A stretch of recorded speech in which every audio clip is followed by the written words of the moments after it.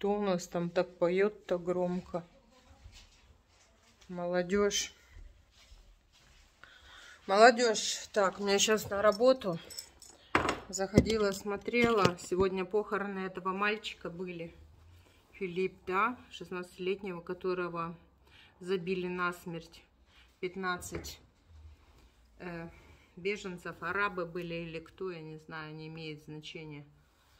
Короче, 15 ублюдков забили мальчика. Мальчик был м, с верующей семьи. Сейчас смотрела похороны. М, э, приезжал туда, я вот его фанатка Кассеншталь, которая выступает против вот этого правительства в защиту детей. Он прямо орет, я просто его обожаю. Он уже столько лет с этим всем борется, ну, правда, его никто не слышит, и выступает и на телевидении, и везде против этого всего, и понимаете, вот эти дебильные законы, которые приняты были э, э, после войны, они до сих пор у нас еще действуют, вот эти вот законы, их никто не менял с того времени, понимаете, он хочет добиться, потому что, я вот сейчас смотрела выступление, на этих похоронах, говорит, это уже мои десятые похороны, где вот я хороню вот ребенка, который вот действительно пострадал а, от такого. И он орет, прям орет всегда, но он не может докричаться. Понимаете, вот эта вся семья сегодня хоронила вот этого ребенка. И вот сейчас э, настало то время, я помню, где была война в Сирии, по-моему, принимали беженцев, и у меня немцы спрашивали, что я думаю по этому поводу. Я говорю, вот так, если будут принимать, да, не проверяя ничего, я говорю, вы будете вечером бояться выходить по улице ходить. И действительно, и оно так произошло. Они никто вечером теперь не выходит. Мало того, что днем это получается, да, вечером они вообще не выходят. То время, когда они раньше могли просто с открытыми дверями спать. Все, настало то время, когда ты реально боишься отпустить ребенка на улицу, потому что не знаешь, он придет или нет, понимаете? Вот что вот он один сделал этим 15 подонкам, вот что он сделал, что вот, и понимаете, он же не, э, они теперь, они, ну, им ничего не будет за это. Им ничего не будет, они же, они же школьники. Это то же самое было, что с моим сыном, да? Три ублюдка его избили, и им ничего за это не будет. И не было. Просто вот суд Божий будет, и все а по закону им ничего не будет. Ну, конечно, у них потом там и пошло все, потому что, знаете, Бог не фраер, шельму метит. И, и пойдет еще, понимаете? А еще же ведь у них когда-нибудь будут дети. У них когда-нибудь же будут свои дети. И эти дети могут ответить за это. Так и вот эти. Они его убили. Ну, что им будет? Ну, он же скончался от кровопотери. Понимаете? В больнице. Там уже сколько дней прошло, там сколько, два дня он в коме лежал или что. Он же не от попоев, просто от кровопотери. Понимаете, настолько дебилами быть. И ничего им не будет. Несовершеннолетний, ничего не будет. Бей, ходи вон. Средь бела дня а, а, отлупили пацана. Средь бела дня пока женщина-турчанка одна вот там не начала кричать. И забили бы, забили, потому что наркоманы херовы. Их же никто не контролирует, они же детки, а мамаши у них такие же припиздошенные. Ты отпускаешь ребенка, ты не следишь, а где она будет следить? Где она будет следить, если папаша свалил отсюда, потому что его должны были тоже посадить? Он свалил быстренько, оставил ее с детками. Ну и детки пошли. И она тогда приехала и разговаривает, не может быть, не может быть. Я говорю, как не может быть, блядь, ну вот, вот оно. Потом, э, а тут был другой чеченец. Этот русскоговорящий, тут чеченец, короче, был, э, ну, типа русский немец, да. И значит, э, вот он больше не будет с ним дружить. Я говорю, будет. Не будет он с ним общаться. Я говорю, будет он с ним общаться. На следующий же день, пожалуйста, он сидит на том же месте с этим же другом. Где ты, мама? Я говорю, вот есть мамы квочки, а есть мамы курицы. Есть мамы курицы, которым по херу. Они ищут там где-то по размерам себе. Хвост подняла и вперед. А то, что он на улице делает, она за это не отвечает. И, и я тогда сказала, говорю, ты особо-то не переживай. Я-то понимала, что им ничего не будет. Но, говорю, просто вот так нервишечки я тебе подпорчу. И заявление все равно написала, да. Двоих мы нашли, сами же нашли, третьего мы не нашли. И искать, естественно, никто не стал. Так же и с этим ничего не будет. Ничего не будет. Просто надеяться вот на Бога, что Бог вот он все равно накажет. Куда вот сейчас идут его, друзья несут этот гроб, родители еле идут, плачут. Похер, это нормально сейчас. Это сейчас нормально, как бы не страшно это не звучало, это сейчас нормально, оказывается. Ты можешь идти, ты же несовершеннолетний, да? Тебе за это ничего не будет. Давай, иди, убивай. Я тебе говорю, вот он он приехал тоже на эти похороны, и там вот э, э, речь свою говорил. И он везде, на всех медиа, везде одно и то же орет, орет. Обратите внимание, наши дети в опасности. Обратите, он против этих мобингов, вот этого всего. Обратите внимание. Ну хера. Если некоторые родители даже на это не обращают внимания. Чё ты, ты кто? Родителям некоторым похер. Понимаете, у кого-то в приоритете вот это вот мужики, у кого-то бабло немеренное. И вот из-за этого всего им вообще они идут по головам своих детей. Понимаете, они, они заставляют детей врать, они потом оправдывают их вранье. И это сплошь и рядом, это ладно, если где-то там далеко было, это вот тут вокруг меня вот это вот все вертится. Я говорю, я не понимаю. Э, разговаривали тоже с матерью э, шефа, она говорит, сейчас все в телефонах. А, она говорит, просто, говорит, нам родители читали книжки. И говорит, наши дети читали книжки. А им, видать, родители не читали книжки, своими делами были заняты. И они сейчас все в телефонах, и вот эту хрень все смотрят.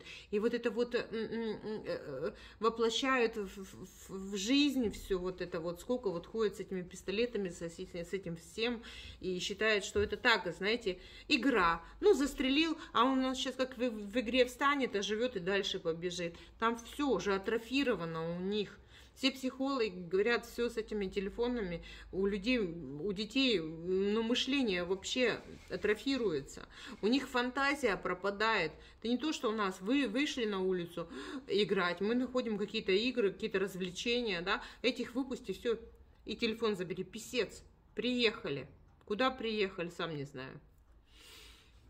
Ну и вот, очередной мальчик, очередной ребенок похоронен. И я там мозгами понимаю, что будет все хуже. Телефон зазвонил и сбил меня. Потом я взяла этот продукт, унесла в киллер морозилку. Ну, короче, о чем я? О том, что я вот своих детей, да, у меня школа начиналась у них раньше, чем у меня работа. Я своих детей до последнего класса возила на машине. Все, вот они такие здоровые. Что ты их возишь? В смысле? У меня есть свободное время, у меня есть машина под жопой. Погода ночью, ой, ночью время в темень, э, при любой погоде, зимой. Э, блин, я лежу на диване, они идут в школу. Когда я могу встать и отвезти детей в школу? Мне кажется, ничего у меня не отвалится. Если честно, не отвалилось. Я води, возила детей до последнего э, в школу. Возила и забирала. И ничего со мной не сделалось. Поэтому я думаю, ничего страшного, да, если там каких-то 15 минут у меня потратится. Но я хоть была за них спокойна. Я отвезла сама, привезла. Конечно, большую часть, то, что себе дети так ведут, зависит от родителей, общества, да, в котором он вращается, опыту набирается. Но родители должны все равно контролировать как-то хоть. Вот это вот никаких духовных ценностей у детей нету. Ничего абсолютно. Родители абсолютно их не контролируют я не знаю, вот нельзя быть строгим, нельзя не то, нельзя это, все можно. Я тоже с своими детьми где-то была строгая. Ну, я их приучила так, что они мне и рассказывали все. И извините меня, в 14 лет моего ребенка по подъездам никто не таскал. Мне ребенок 18 лет пришел и честно сказал, все, мам, пойдем со мной к врачу, что начала дружить с мальчиком. И соседей в подъездах ее не видели, как ее там таскают. Простите. А есть такие, которых действительно, а их мама будет усираться до последнего. Нет, мой ребенок ангел он не способен. Так если ты не знаешь, чем он дышит, как ты можешь, я понимаю, ты будешь до последнего стоять за этого ангела. Но ты же немножко иногда вникай. Вот, э, вот сколько я замечала, да, э, женщины, которые вот поздно рожают, они или прям трясутся, или прям все им в одно место засовывают, что те идут, блин, на беспределы. Ну, короче, надо рожать всем в свое время. Когда у тебя есть энергия и силы воспитывать этого ребенка. А когда уже нет, то там и получается что-то такое непонятное.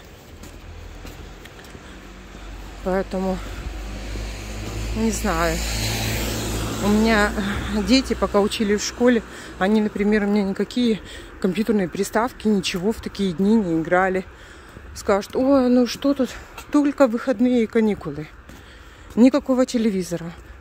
Занимайтесь чем хотите. Э, рисуйте, читайте, играйте. Что хотите. Телевизор, вот это говнище. То, что там показывают, вы еще успеете. А на то время, когда вы учитесь, получаете знания, но опять же хочу сказать, да, у нас в Бремергафене по статистике, короче, самые тупые дети по школам. Как бы ни прискорбно это звучало, по статистике по Германии самые тупенькие. Почему? То говорят, учителей не хватает, то еще чего-то. Не учатся они здесь такое образование, которое нам давали в Советском Союзе и требовали с нас. Здесь нет этого.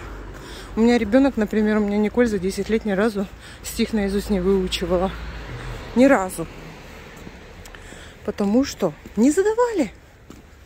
А когда вам, когда девочки нам давали диктант на дом, что мы три дня подготовились, потом выписали? Никогда. А здесь так делают. Надо дебилом надо быть, чтобы выучить за три дня, не выучить, вернее, и не написать. Так, вот хотела сказать, да? Вот эти вот все ситуации накаляются все больше и больше. У меня вот, например, соседка, она со старшим сыном и собачкой ходит. Сейчас уже нет. А, девочка купила машину, ездит на машине. А так она ходила, ее со второй смены встречала. Она работает в больнице. Ходила, встречала. Также Николь мне говорит, мама, я когда вечером иду, и человек идет навстречу, я уже как будто на готове. Вдруг у него что-то плохое на уме. Такая вообще неблагополучная. А есть район у нас целый, туда ближе к порту, что там немцы практически не живут. В основном вот беженцы с разных стран. И там я бы боялась ходить вечером. Короче говоря, пока наш дебил, маразматик с пулей в голове, ездит по Америкам, выпрашивает помощь денежную на чужие страны, а на свою похерил, тут вот такое происходит. Некому взяться за эти законы тупорылые. Некому. А те, кто хочет за это взяться и об этом говорит, их просто не допускают к власти. Все проплачено, все про прикормлены. И ой, как свое мягкое сидушку-то отдавать не хотят. Поэтому я говорю, я уже это видела в 90-х. И вот сейчас лицезрею то же самое один в один, что оно начинает потихоньку идти, да, об этом уже все говорят. Не только я, когда я об этом говорила, мне писали, да, что ты такая ненормальная, да никогда, никогда здесь не будет. Не будет, а почему детей хоронят? Почему цены поднялись? Вы же говорили, никогда здесь не будет такого. Значит, вы в 90-х не жили и не знаете то, что оно повторяется все. Так оно и будет здесь похерили все на свою страну, патриоты в кавычках, и все. А те, кто действительно патриот и хочет чего-то добиться, им просто суют палки в колеса и не дают такой возможности действительно встать к власти и навести порядок. Поддерживают то, что, ну, отрабатывают, короче, свои американские рублики.